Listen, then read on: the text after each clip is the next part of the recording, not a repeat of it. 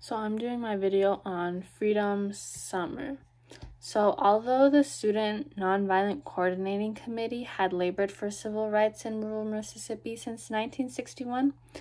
um, the organization found that um, resistance by segregationists in rural areas of Mississippi would not allow for the kind of direct campaigns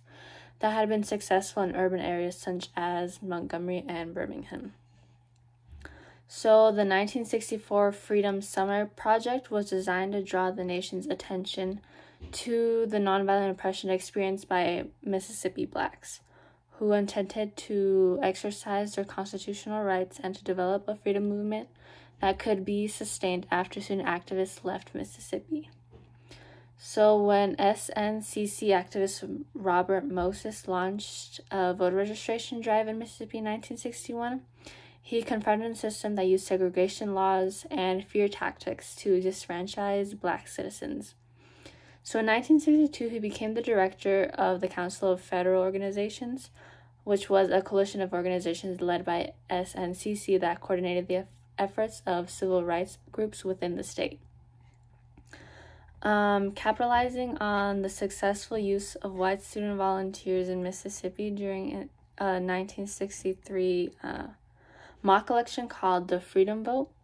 Moses proposed that Northern white students volunteers take part in many simultaneous uh, local campaigns in Mississippi during the summer of 1964. So, letters to prospective volunteers alerted them to conditions in Mississippi, explaining the likelihood of arrest, the need for bond money, and just funds to get by, and the requirement that drivers obtain Mississippi licenses for themselves and their cars. So, in the summer that the Freedom Summer happened in 1964, less than 7% of Mississippi's African Americans were registered to vote, uh, compared to between 50 and 70% in other southern states. So, in many rural counties, African Americans made up much of the popula- population, and the segregationist white establishment tried to keep them away from the polls and out of elected offices. So then in 1964, a new plan was hatched by Bob Moses, a local secretary of the Student Nonviolent Coordinating Committee, which was for 10 weeks, white students from the North would join activists on the ground for a massive effort, which was to force the media and the country to take notice of the violence and injustice taking place in Mississippi. So that summer of 1964, the Council of Federated Organizations began organizing a movement regarding voting rights. So the COFO was a group of Mississippi branches of the four major civil rights organizations, which were the Student Nonviolent Coordinating Committee, Congress of Racial Equality, National Association for the Advancement of Colored People, and the Southern Christian Leadership Conference. 1,000 out of state volunteers came together with thousands of black Mississippians that summer the Freedom Summer Project resulted in various meetings, protests, schools, housing, libraries, and a collective rise in awareness of voting rights and oppression experienced by African Americans in Mississippi.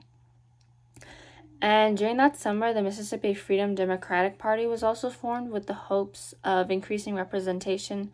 at the Democratic National Convention and giving testimony about the mistreatment of African Americans who tried to register to vote. So, however, these actions and efforts to register black voters were not well received by local officials and residents of the state. So, in result, about 1,062 people were arrested, 80 Freedom Summer workers were beaten, 37 churches were bombed or burned, 30 black homes or businesses were bombed or burned, uh, four civil rights workers were killed, and about three Mississippi African Americans were murdered because of their involvement in the movement. So then, in July of 1964, um, in, in due to the increase in awareness of the civil rights movement and plus pressure from supporters across the nation, President Lyndon B. Johnson signed the Civil Rights Act of 1964, and that following year, um, the Voting Rights was passed.